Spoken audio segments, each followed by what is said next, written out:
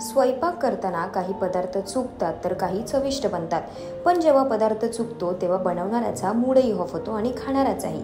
पण जर पदार्थ बनवताना पदार्थाची चव दुप्पट करण्याच्या टिप्स तुम्हाला माहिती असतील तर हा पदार्थ बिघडणार नाही. त्यामुळे आज आपण खास जेवण बनवण्याच्या काही उपयुक्त टिप्स जाणून घेऊयात. कोणतीही भजी कुरकुरीत होण्यासाठी बेसनसोबत थोडं तांदळाचं पीठ वापरावं. यामुळे भजी कुरकुरीत आणि चविष्ट बनतात. गोड पदार्थ बनवताना त्यात थोडं मीठ अगदी चिमूटभर घालावं. या टिप्सने तुमच्या पदार्थाची चव वाढते.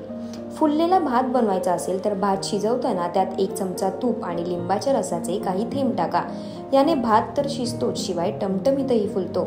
भरली भेंडी बनवताना सारणमध्ये चिमूटभर चाट मसाला घातल्यास तुमची भरलेली भेंडी अधिक टेस्टी बनते. मऊ रोटी बनवायची असेल तर पीठ मळताना त्यात थोडंसं दही घालावं. कोणत्याही भाजीसाठी ग्रेव्हीसाठी कांदा भाजताना त्यात थोडं मीठ टाका. या ट्रिकने कांदा लवकर भाजला जातो आणि त्याला रंगही छान येतो. कापलेली बटाटी उघडी ठेवल्यास ती काळी पडतात. यावर तुम्ही कापलेली बटाटी थंड पाण्यात साठवून ठेवू शकता. पुऱ्या बनवताना अनेकदा तेल तसंच राहतं. यावर उपाय म्हणून तुम्ही पुऱ्या लाटून झाल्यावर त्या फ्रीजमध्ये ठेवाव्यात. जवळपास दहा मिनिटांनंतर फ्रीजमधून काढून त्या तळाव्यात. यानं तेल जास्त शोषून घेतलं जात नाही. ग्रेव्हीमध्ये तेल जास्त झालं असेल तर फ्रीजमध्ये काही वेळासाठी ठेवा.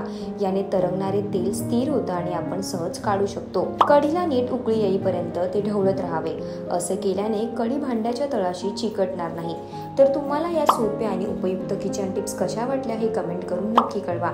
आणि अशाच माहितीपूर्ण व्हिडिओसाठी माय महानगर मानिनीला जरूर सबस्क्राईब करा.